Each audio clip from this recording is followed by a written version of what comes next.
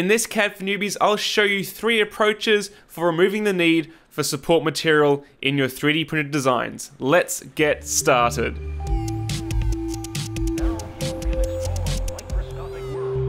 How's it going guys? Angus here from Maker's Muse and I do apologize if you can hear the rain outside. Today has been absolutely insane but I got such a positive feedback from the previous CAD for Newbies tutorial video that I really wanted to get this one out as soon as possible to you guys to help you make your designs better for 3D printing. And this one's all about removing the need for support material.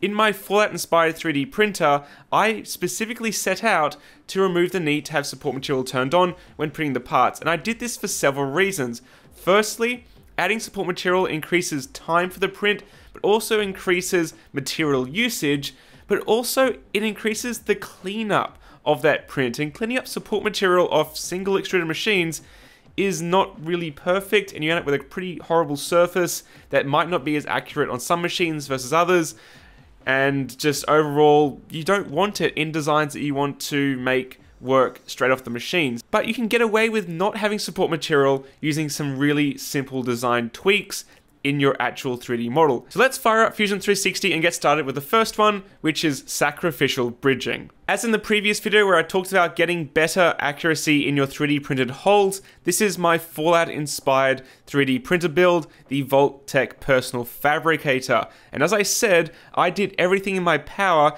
to make all of these parts print without support material. And the largest and arguably most complex part of the whole build is the base. This part here, it prints all in one go without needing supports. And there's a few things I did in this to make that possible, but the main one was sacrificial bridging. So take a look at this part here. This is where the Z-axis motor bolts in.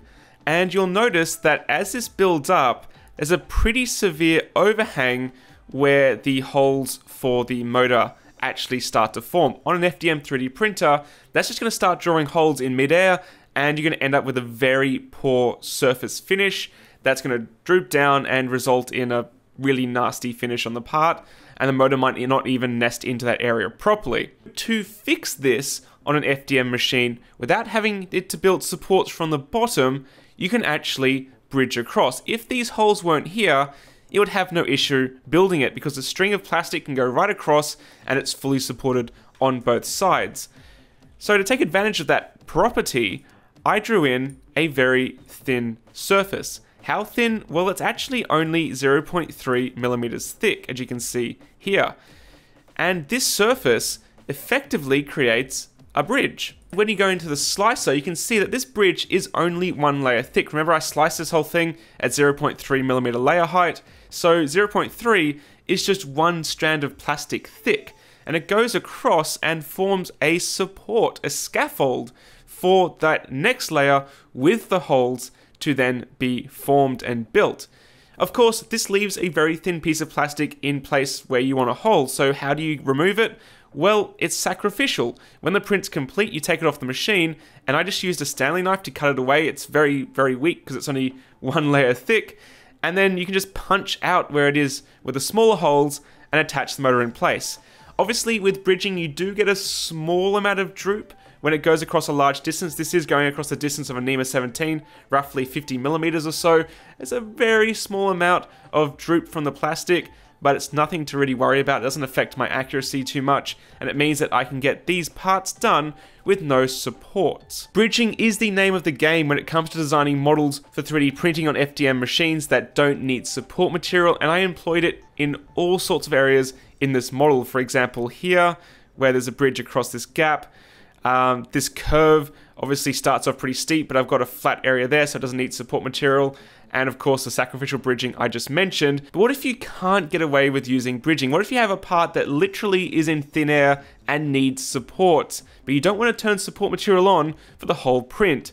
Well, you can design in your own support. And that's what I did for this part. This is the component on the 3D printer that holds the X-axis motor and is attached to the lead screw of the Z-axis, so it moves up and down and holds the motor for the left and right, the X-axis movement. So it's a very complicated piece, and in the previous video, I talked about these hole designs to make sure that they were compliant for the rods that were inserted into them, but the actual mount for the X-axis motor was very challenging. For a start, the motor actually has screws going from the back of the motor all the way to the front versus from front to back on a regular uh, stepper motor, which you might be familiar with. So it actually has these little slots here that take in screws that then lock the motor in place. It wasn't the best approach, but it's all I could really do. And again, it's been designed to not need support material, so there's a bridge here, and that actually fills in really nicely without having any need for supports. But look at this area here.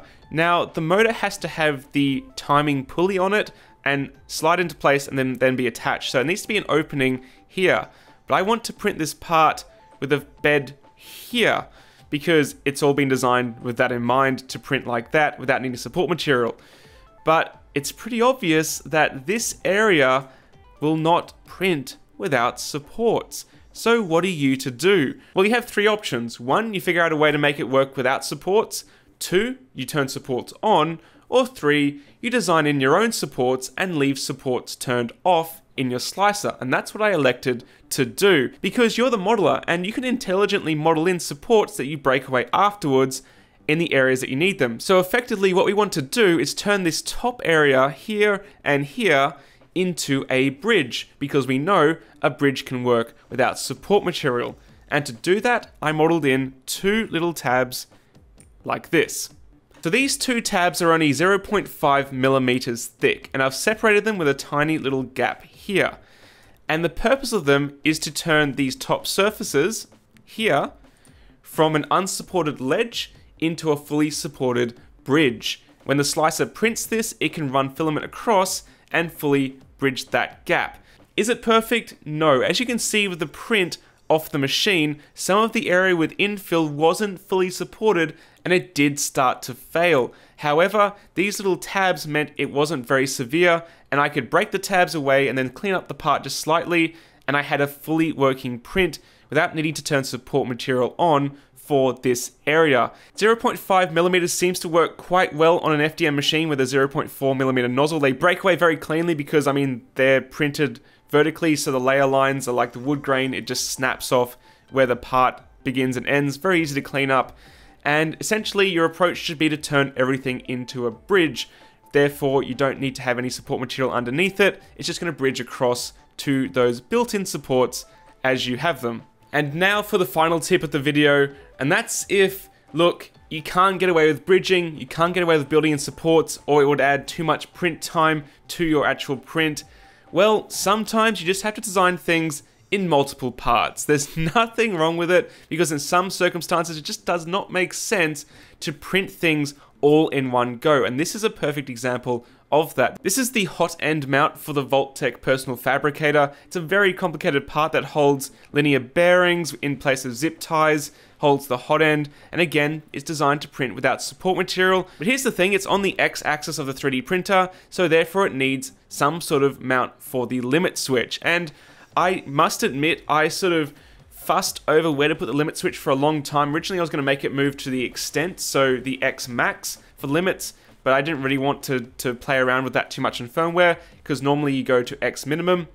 So I just stuck with that, but to do that, I needed to add the actual limit switch in this space here. And to mount the limit switch in the right place, I would have needed a plastic tab sticking off the back, which made no sense because this was originally designed to print like this, with this surface down on the print bed. So what I ended up going with was just a separate tab, like this, which screws into place. And this means that I can print the tab separate and the original part separate, with no support material, and then just attach them together afterwards. It seems obvious, but way too often do I see people make silly compromises to make something work without support material or make things just not look like their design intent just to do that, when sometimes it's better off to split things apart and join them together, which is also what I tend to advocate for smaller printers. I'm not a fan of printing a helmet in one go because you know you're gonna have to fill the whole thing with support material. I much prefer to print it maybe in four pieces and then have uh, slots that join it together. So that's the third tip for this video. Don't be afraid to print parts separately if it means they work better, will be stronger, and don't need support material, and then just join them together afterwards with a couple of screws like that. So that's going to do it for this CAD for Newbies video on designing better 3D prints that don't need support material, but believe it or not, we are not done with this model. There is still quite a few things I want to talk about, which I will talk about in future CAD for Newbies video tutorials. And if you enjoyed this video on Maker's Muse, I would love to have you subscribe. It is my aim to empower your creativity through technology. It's still raining extremely heavily. I hope it hasn't been too obvious on the microphone.